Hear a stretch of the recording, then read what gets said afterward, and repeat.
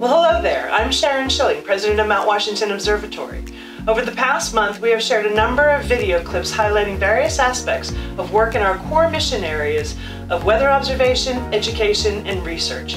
We hope you have enjoyed them, but for those of you who haven't seen them, you can catch them on our website and on our Facebook page. As we close 2018, we want you to get a glimpse of the faces behind the observatory